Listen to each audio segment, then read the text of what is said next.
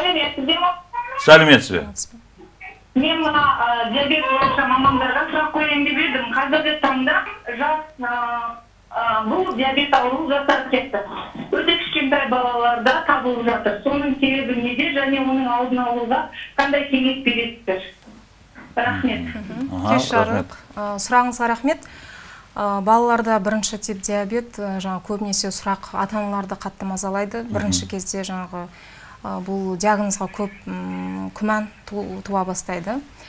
Ә, себептері енді ол көбінесе жаңағы бала жедел инфекцияларды ауырып өткен кезде аутоиммундық м, процесс басталып кетеді.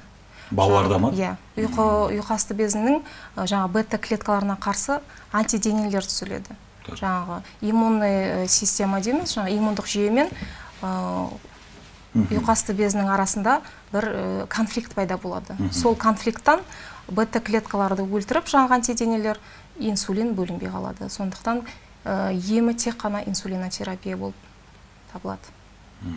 Жаңа осы балалардың Иә. бірінші типтегі сахар енді бұл жақта көбінесе айтамыз тұқым қуалаушылық фактор да әсер етеді. Ә, генезінде осы тұқым қуалаушылық көбінесе кездеседі. жаңа үстінде біз айттық қой елуде елу иә елу пайыз мүмкін өтеді иә ба- жаңағы тұқым тұқымнан иә тұқым қуалаушылық болуы мүмкін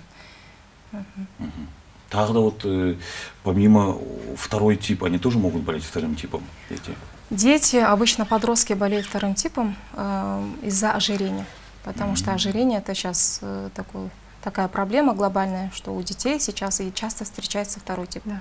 Мы раньше не говорили о втором типе у детей, а сейчас уже э, ну, как бы разрабатываются клинические протоколы лечения сахарного диабета у детей, у подростков второго, Второго типа. типа да. это вот тоже да избыточная масса тела вот ты тут прям вот наглядно видит да родитель Да. может увидеть Конечно. Да. да. Ну, также жажда, сухость во рту, часто обильное мочеиспускание, малоподвижный образ жизни, все это приводит. Да.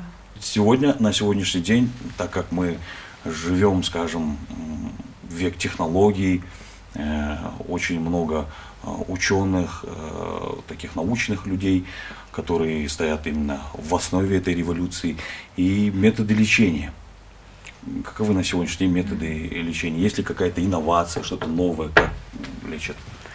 Ну, Основным методом лечения на сегодняшний день все равно является это симптоматическое лечение, то есть мы боремся с симптомами заболеваниями, с профилактикой и лечением осложнений. Мгм. Да, к сожалению, сахарный диабет на сегодня это хроническое, пока еще неизлечимое состояние, но это в то же время это заболевание, которое можно самостоятельно контролировать и компенсировать на длительное время.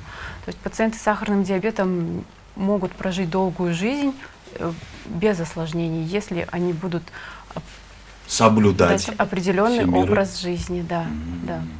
Раньше так и говорили, что сахарный диабет это не заболевание, это образ жизни. То есть меняются полностью привычки, меняется питание, э, подключается физическая активность, и уже тогда можно полностью контролировать свои сахара. И даже инсулинозависимые?